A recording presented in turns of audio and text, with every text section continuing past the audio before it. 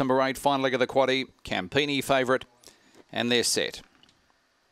Ready and racing, Campini began okay, showing early speed in the middle was Vern Allen, and driving across was Quara's Emerald wide. Campini got severely checks now, last of all towards the back. Quara's Emma the leader, out by three lengths on Azalea Manelli, then followed by Vern Allen. In behind them was Gearing Bale Rockhold. Well back behind them, Dinah Fabrice. Campini checked again with West on Holly. The two stars, second last and last, but off the back, Quara's Emma in a world of her own. She's out by five lengths on Vern Allen. Azalea Manelli around the corner. Quara's Emma rails beautifully and goes on and scores by two and a half on Vern Allen. Third in was Azalea Manelli, a gap to Gearing Bale along with Rockhold. Well back behind them, Dinah Fabrice, Campini and also West on Holly were never out of trouble.